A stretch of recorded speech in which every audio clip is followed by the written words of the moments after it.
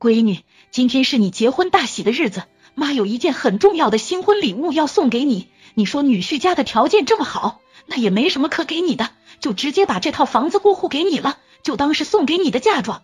而且我还会给你一张银行卡，这卡里面一共是五十万，就当是送给你未来儿女的见面礼吧。女婿这个人我再清楚不过了，人家的家庭条件这么好。如果咱们没什么拿得出手的东西，我觉得你嫁过去也不会过舒心日子。所以呀，这房子和卡就是妈给你的底气，这样你在你婆家就能有一些话语权，不必担心自己受委屈。妈，你就放心吧，既然我选择了嫁给我老公，就说明我很了解他们的家庭情况，我嫁过去肯定不会受委屈的。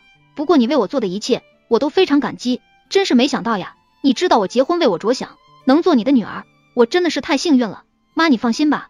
虽然我是外嫁的女儿，但是我跟我老公一定会好好孝顺你，因为我很清楚你为我付出了多少，我也知道你已经考虑到了我以后走的每一步，所以我说的这些话全都是真心话。等你老了之后，我一定不会让你受任何委屈。说这些话干什么呀？妈对你好，也不是为了让你回报我，我只是觉得你嫁一个好婆家比什么都重要。虽然咱们家条件并不是很好。但是我会尽最大可能给你更好的生活条件，只要以后你跟女婿好好过日子，早点生下个儿女，就是对妈最好的回报了。在妈的心目中，你这个女儿可是独一无二的存在，你得知道这个待遇，你哥哥跟你嫂子从来都没有享受过，所以你一定要幸福呀，儿子。妈既然准备把这些东西都给你妹妹，就从来没想过瞒着你，现在当着你面交给你妹妹，也是希望你知道妈的用心。你们两个都是我的儿女。我绝对不会存在什么私心，也不可能存在什么偏心的说法。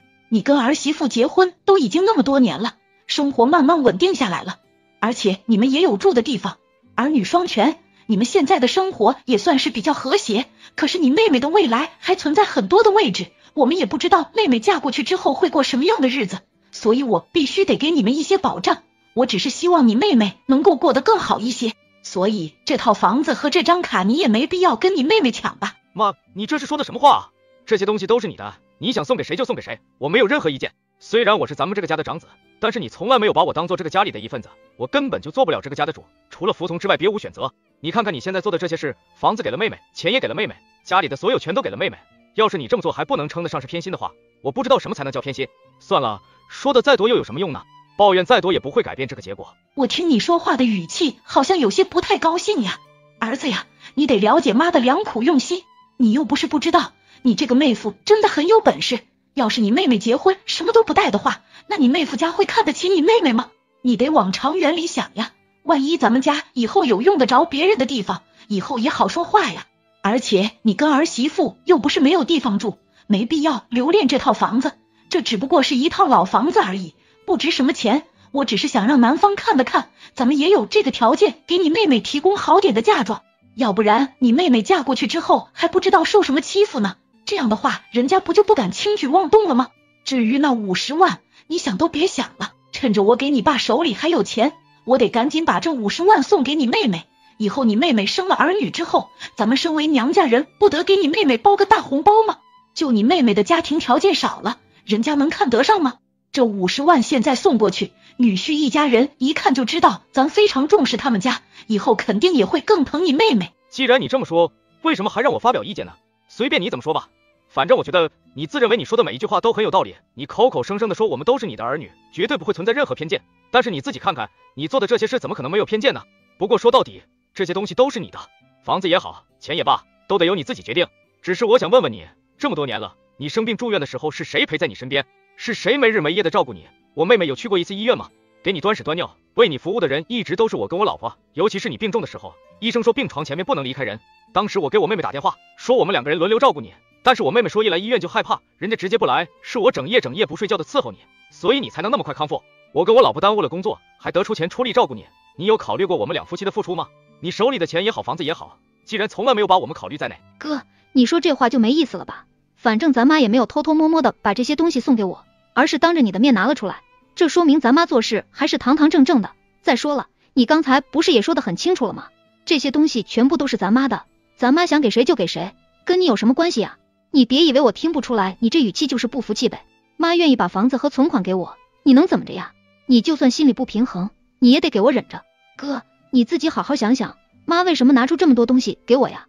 还不是因为我找了一个很好的婆家。如果你能够找一个拿得出手的婆婆家，我相信咱妈肯定不会什么东西都不留给你。你说我去人家家里生活，如果没有丰厚的嫁妆，也没有存款的话，我婆婆一家人该怎么看我呀？你说我在我婆家还能混下去吗？你是不是觉得咱妈应该把所有的东西全部都给你这个儿子，然后让我空着手嫁给别人？你心里太平衡呀？你喊什么呀？你怎么跟我说话呢？我是你哥，难道咱妈做了这样的事，我连句话都不能说吗？你别在这里得了便宜还卖关系吗？妈把所有的东西全部都给了你，我只不过是发句牢骚而已，难道我连说句话的权利都没有了吗？妹妹，我劝你还是适可而止吧，咱妈对你已经够好了。如果你心安理得的拿走了咱妈给你的房子和存款，那以后就好好孝顺老太太，不要跟以前一样，只会动嘴哄老太太开心，实际行动一样也没有。你真以为我傻吗？你要是还这样做，我绝对不会饶了你。哥，今天可是我大喜的日子，你这是干什么呀？怎么还跟我说那些以前的事情呢？你又不是不知道，我这个人胆子特别小，咱妈住院，你让我一个人在医院里照顾她，我怎么敢呢？你是我哥哥，在这个时候你不应该冲在前面吗？你可是咱们家唯一的顶梁柱，这种事你不做谁来做呀？再说了，你都已经成家那么多年了，你跟我嫂子照顾老太太不是理所应当的事情吗？你怎么好意思安排我一个人在医院里陪护呢？哥，我这么跟你说吧，反正今天我就要结婚了，结了婚之后我就不能过多掺和娘家人的事，要不然我嫂子该对我有意见了。所以啊，以后关于咱妈的那些事，你给我嫂子看着办就行，跟我没有任何关系。你说这话纯粹就是没良心啊！我发现你这个人真的是越来越不要脸了，你怎么能算计自己的家人呢？你看看咱妈是怎么对你的呀？你这个女儿不出钱不出力，还想方设法的算计咱妈的财产，你是不是以为你把咱妈哄得这么高兴，咱妈就什么都听你的呀？我跟你说吧，也就是今天是你结婚大喜的日子，如果不是这么特殊的场合，我一定得好好给你掰扯掰扯。你一个当妹妹的，怎么能做这么过分的事情呢？你以为天下什么便宜都让你给占了吗？我告诉你就没有这么好的事儿。行了，行了，你们两个能不要吵了吗？你也知道今天是你妹妹结婚的大喜日子呀，那你在这里跟她吵什么呀？你一个当哥哥的人，难道不应该大度一些吗？儿子呀，我也算是听明白了。说来说去，你就是觉得我是一个偏心的母亲呗。我给你解释了那么多次，你就是听不懂是吧？你妹妹今天才刚刚结婚，如果没有房子、没有存款当做嫁妆的话，你说你妹妹嫁过去之后，在婆家有什么底气？你以为每个婆婆都跟我一样这么宽容吗？当初儿媳妇嫁过来的时候，基本上就没有任何嫁妆，我也从来没有让儿媳妇受过什么委屈吧。这次我绝对不会让同样的事情发生在你妹妹身上。谁知道你妹妹的婆婆是什么风格呢？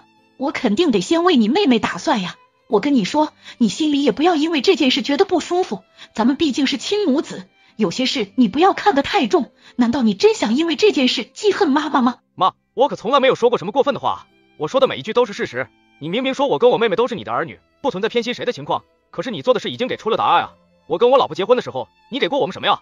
刚才我妹妹说的那句话确实是实话。如果我婆婆家有钱有势的话，可能你也不会这样对我吧？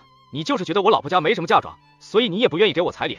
就连我跟我老婆买房子的时候，你也没有赞助我们一分钱。我不知道我这个儿子在这个家里存在的意义是什么？为什么你满心满眼就只有我妹妹呢？你真生气了对吧？你如果真生气的话，大不了我把我手里的养老钱全部都交给你。反正我现在年纪大了，身体也不太好，估计没多少活头了。我不希望你们两兄妹因为钱的事情大吵大闹，要是别人知道了，该怎么看咱没家人呀？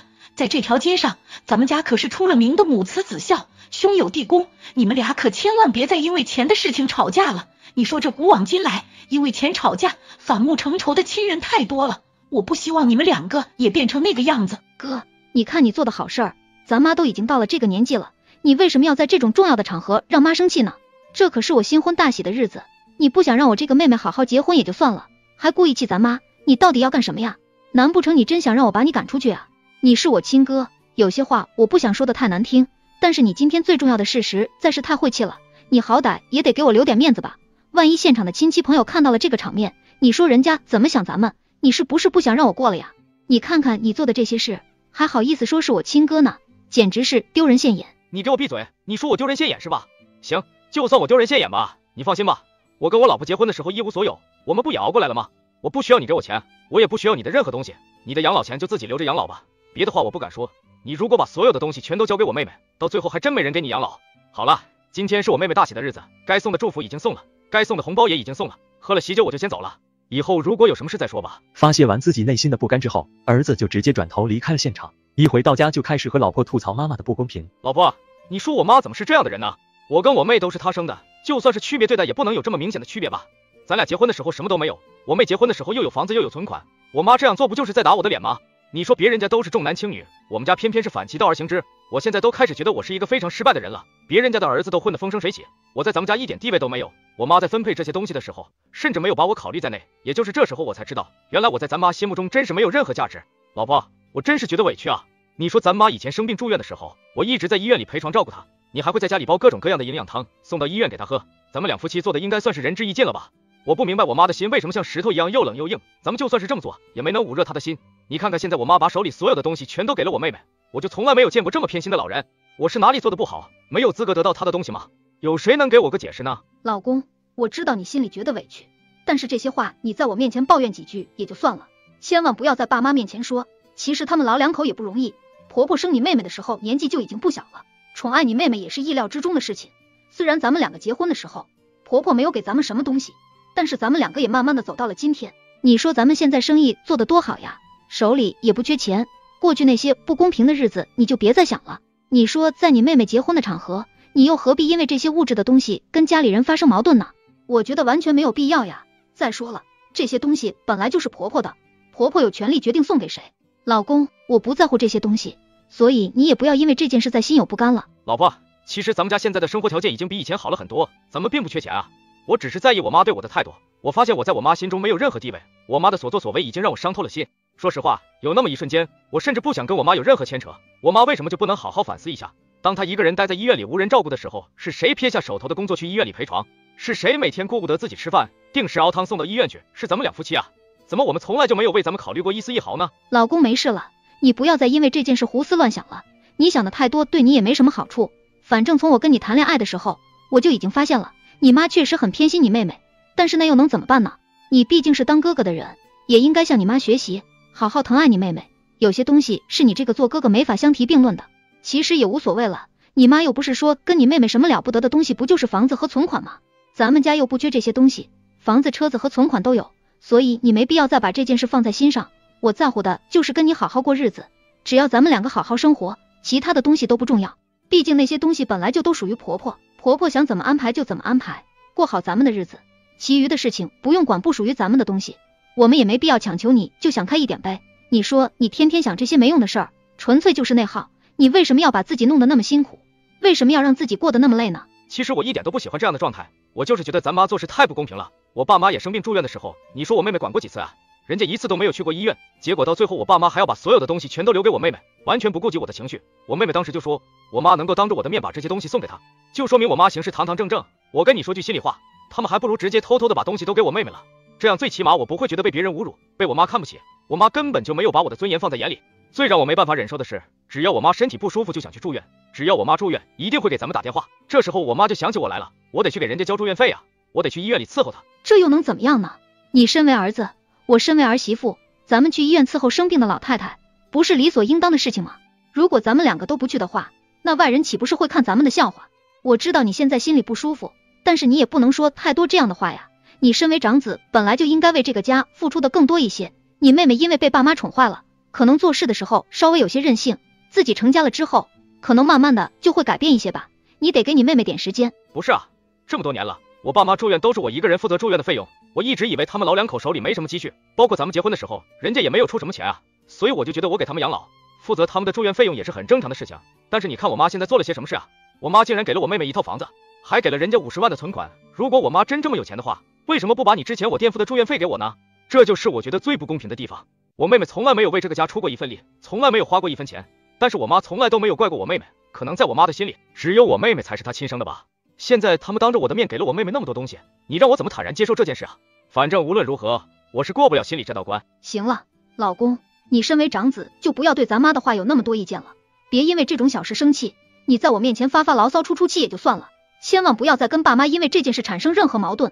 反正我觉得咱妈这么做也是希望你妹妹过上好日子，毕竟他们也是亲生父母。你身为小辈，怎么能跟父母拌嘴呢？万一你们之间有什么冲突闹了别扭的话，我家在中间也很为难呀。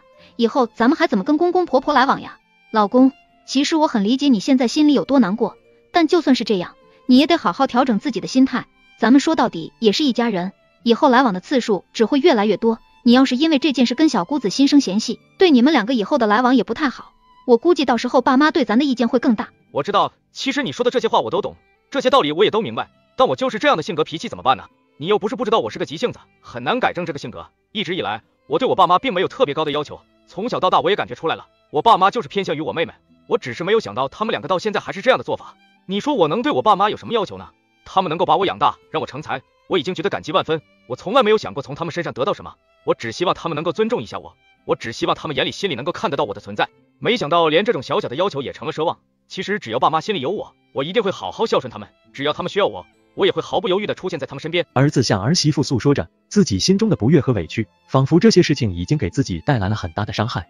两天之后，母亲病情恶化，再次住院。父亲在病房陪着母亲。如果不是跟母亲聊到了房子和存款的事，父亲根本不知道母亲把所有的东西都给了自己的女儿。老太婆，你怎么回事呀？你没有搞错吧？你看看你干的这叫什么事啊？我问你，你把家里的房子过户给女儿，把家里的存款交给女儿的时候，为什么不跟我商量呀？而且你还是当着咱儿子的面把这些东西交给女儿和女婿，你这是能说得过去吗？你让咱儿子心里怎么想呀？我真不知道你脑袋瓜子里到底装了些什么。你怎么能在他儿子面前做这样的事呢？本来儿子就觉得咱们两个偏心女儿，现在好了，你的所作所为刚好印证了儿子的猜想。你至少得通知我一声，咱们两个商量一下再做决定吧。虽然我很清楚这件事自始至终都没我什么事儿，但是咱儿子不这么认为呀，他肯定以为咱们老两口商量之后才做出了这个决定。我估计啊，他心里早就对咱们有些看法了。儿子女儿不都是咱们两个的骨肉吗？怎么这份东西还有性别之分吗？这不是女儿大婚的日子吗？而且女婿的家庭条件也挺好的，我要是不给女儿房子和存款的话，你说咱女儿嫁过去在家里有什么地位呀？我多少得给女婿点好处，女婿才知道疼咱女儿呀。哎呦，我太明白一个女人嫁到别人家是什么感受了。要是手里连一张牌都没有，要是娘家也不能给她点帮助的话，那咱闺女嫁过去之后，在婆家的待遇肯定非常一般。老头子呀。我所做的一切全部都是为了咱女儿的生活和幸福，我不就希望女儿和女婿能好好过日子吗？难道我这么想也有错吗？真不知道你为什么要恶意揣测我，还说儿子会因为这件事恨我？我觉得不可能吧。我身体越来越差，要是不给女儿做打算的话，你说咱女儿以后可怎么办呀？老头子，有些事你必须得想清楚呀。这女儿虽然是嫁出去了，但是女婿一家人有本事啊。咱们要是不搭上点东西，女婿未必会安心跟咱女儿过日子呀。你说以后他们两个要是因为钱的事吵架，咱女儿能怎么办呢？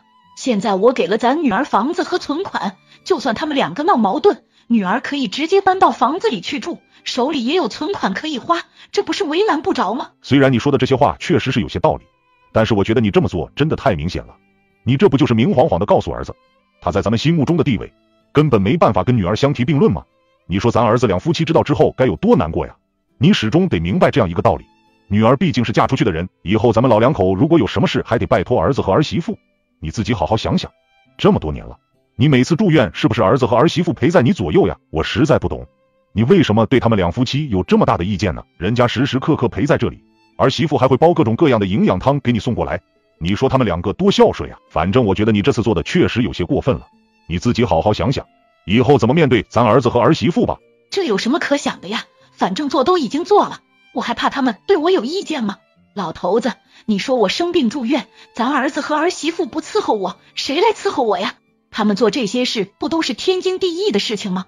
本身我就是他们的长辈，难道他们不该管我吗？我看你就是想的太多，这都是他们应该做的事情，怎妖到了你嘴里，好像是我欠了他们多大情分一样？我生儿子干什么呀？不就是为了防老吗？咱儿子要是对我不管不顾的话，我早就跟他断绝母子关系了，何必要维持到现在呢？也就是咱儿子这个人还算孝顺，不管我发生什么事，他们两夫妻都会陪在我身边，要不然我才不会给他们什么好脸色呢。你说这样的话，不就是蛮不讲理吗？你一个做长辈的，怎么可以这么说呢？我问你，你生病住院的时候，儿子和儿媳妇在你身边伺候你，人家为咱们出钱出力，你都当做是理所应当的事情。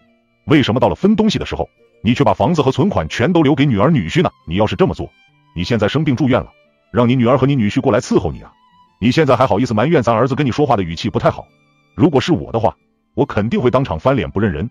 咱儿子这么对你，已经算是客气的了。你说你做了这样的事，我还有什么脸跟儿子联系啊？老婆子呀，他们两兄妹都是咱们的骨肉，手心手背都是肉，儿子和儿媳妇为咱们付出了这么多，你心里得有个数呀。你懂什么呀？儿媳妇再孝顺，也不是咱们家亲生的，能抵得过女儿孝顺吗？人家不都说了吗？女儿才是爸妈的小棉袄。虽然咱闺女结婚之后不可能时时刻刻陪伴在身边，但是我相信，一旦咱们家有什么事，闺女一定会回来的。你就不要因为这件事闷闷不乐了。我跟你说，我既然这么做，肯定是有我的道理。你干嘛要因为这件事跟我争吵呢？要我说，你这个做妈的，就是做不到一碗水端平。我感觉你这个人也挺奇怪的。你说咱们这些地方邻居的都是重男轻女，怎么到了你这里却是偏向女儿了呢？家里有两个儿女的家长很难做到一碗水端平，但是也没有人像你这样过分偏心。你自己好好想想，你之前生病住院的时候，你女儿来过几次呀？在我的印象中，应该是一次都没有来。有时候你想她了，让我打电话联系她，人家是有各种各样的理由和借口不过来，你能怎么办呀？那时候在你身边伺候你、吃喝拉撒、为你忙里忙外的人，是不是儿子和儿媳妇呀？这些事我都看在眼里，记在心里呢。你说他们两个都是咱们亲生的，谁孝顺谁不孝顺，我一眼就能看出来。难道这么简单的道理也需要我给你分析吗？你自己反思一下呀。你把房子和所有的存款都给了女儿，儿子什么东西都没有得到，换谁谁都会觉得很难受。你看吧，现在你住院了，一个在身边陪你的也没有。原本儿子和儿媳妇要是知道这个情况，肯定会马不停蹄的赶过来。但现在你伤透了儿子的心，儿媳妇肯定也不会主动过来呀。我给女儿打过电话了。我本来想着让女儿拿回十万块钱来给你看病，但是女儿压根就不接电话。反正我也没有办法了，你自己看着办吧。怎么可能没有办法呢？女儿不接电话就找儿子呀！你赶紧给儿子打电话，让儿子在半小时之内过来医院，顺便带着十万块钱的住院费。对于儿子来说，这十万块钱应该不是什么难题吧？何况以前我住院的费用基本上都是儿子来负责的，这有什么可愁的呀？你赶快给儿子打电话吧。不要在这里傻傻的站着。老爷子听了老太婆的话，赶紧给儿子打电话。大概半个小时之后，儿子急匆匆的赶到了医院。妈，到底怎么回事啊？你怎么又住院了呢？这不是刚出院没多长时间吗？你这身体可真是不比从前了。你不知道，爸刚给我打电话的时候，我真的很担心。你说我都已经住院了，你竟然不知道这个消息？我问你，你这个儿子做的合格吗？行了，既然你已经来了，我也不想跟你计较太多，毕竟咱们也是亲母子。你赶紧去给我倒杯水喝吧。我需要好好休息一下。我一来你就安排我做这个做那个，什么都交给我来干。那我问你，我妹妹跟我妹夫呢？他们为什么不过来照顾你？如果我没记错的话，当初你把存款和房产证全部都交给了我妹妹，咱们家的房子你都过户给我妹妹了。我妹妹跟我妹夫不应该过来照顾你吗？现在你可是最需要人照顾的时候啊！难不成我妹妹不打算过来孝顺你吗？我看你现在精神状态还不错，你赶紧给我妹妹打电话吧，让他们俩夫妻过来照顾你。反正他们拿了你的东西，孝顺你也是理所应当的事，总不能白白拿了咱们家这么多东西吧？你怎么说话的？你这个不孝子，你到底是不是我的亲生儿子呀？现在你妹妹跟你妹夫才结婚多长时间？他们两个需要度蜜月，就算蜜月期结束了，他们的工作也非常忙，哪里有时间过来陪床呀？我听你这话的意思，好像是不想照顾我是吧？你要真是这样的话，那我也不勉强你。但是我告诉你，既然我生了你，养了你，你就有责任过来照顾我。现在我已经生病了，难道你看不到吗？但凡你还有一点良心。就不会这样对我。你说话能不能讲点道理啊？他们两夫妻有工作会忙，难道我们两夫妻就不忙吗？以前你生病住院的时候，有哪一次是我妹妹过来照顾你的？不是每次都是我跟我老婆在这里看着你吗？妈，从你决定把房子过户给我妹妹，把存款交给我妹妹的那一刻开始，你就应该预料到我妹妹需要承担起孝顺你、为你养老的责任。但是从我目前看到的情况来看，好像我妹妹并不怎么看重这件事啊。我当时有什么大事呢？原来还是因为我给你妹妹房子和存款的事情，对我怀恨在心呀。你就是觉得我把家里的东西都给了你妹妹，没有给你，所以你生气不愿意管我，所以才想忤逆我的决定。你越是这样，我越不愿意给你。反正东西都已经交给你妹妹了，跟你没有任何关系。而且我可以非常明确的告诉你，从今以后我家里的东西都没有你的份。既然你这么说的话，你现在何必要打电话让我过来呢？你住院喊我干什么呀？你别以为我不知道你让我过来，只不过是给你付住院医疗费而已。但是我告诉你。这次我不再像之前那么傻了。以前我给你负责全部的住院费用，报销完之后退回来的钱，你却没有想过还给我。你把所有的钱都装进自己的腰包，到最后身上的积蓄还送给了我妹妹做嫁妆。你觉得你做的合适吗？现在我才明白，你根本就没有把我当人看。那我又何必浪费那么多时间照顾你呢？我付出再多也不会换来你一丝一毫的认可。我妹妹只不过是结过婚而已，你就把全部家产都交给了她。我在这个家里为你们付出了那么多，你们有没有想过对我公平一点？我也是你的亲生儿子啊！你自己也说了，你是我的亲生儿子。那你负责我的住院费用有什么不对呀？咱们娘俩何必要计较那么多呢？再说了，那是你的亲妹妹，你俩分那么清楚干什么呀？我只不过是让你为我花点钱而已，你竟然心疼成这个样子！你挣了钱不应该给我花吗？我真是白白把你养这么大了，你连孝敬父母天经地义这么简单的道理都不明白。我明不明白又能怎么样呢？反正现在我手里一分钱也没有，之前我的钱都已经给你看病花完了。每次你住院需要缴费的时候，首先想到的就是我。但是家里有什么好事儿，你从来不会告诉我。我现在已经没有钱给你交住院费了，我也绝对不会浪费时间在这里照顾你，所以你自己想办法处理吧。我劝你还是尽快给我妹妹打电话。我妹妹不是有很多嫁妆吗？这十万块钱的住院费对她来说可不是什么难事儿。老天爷呀，你这个当哥哥的怎么就那么不懂事儿呢？你妹妹结婚才多长时间呀？你就让他们两夫妻过来照顾我，你有没有良心呀？以前每次我住院都是你来照顾，你不是经验丰富吗？这件事交给你来做，再合适不过了。所以你也不要说太多了，说来说去，这件事只能由你来做。怎么到了现在这个时候，你还一直偏心我妹妹呢？你到底什么时候才能看清楚他们两夫妻是什么人呀？我不管，这次我妹妹无论如何都得过来，而且还得负责这次的住院费用。你要是继续这样惯着我妹妹，你的晚年生活真的是悲哀又凄凉。你别嫌我说话难听，这可是明摆着的事实。说完这些话之后，儿子头也不回的离开了病房。儿子本想着给妹妹打电话，让妹妹来付住院费用，但是妹妹说自己没钱没时间，直接没过来。后来老太太因为交不上住院费，只能出院回家，最终因为得不到及时治疗，病情恶化，在痛苦中离世。老太太一直到死都没有等来女儿和女。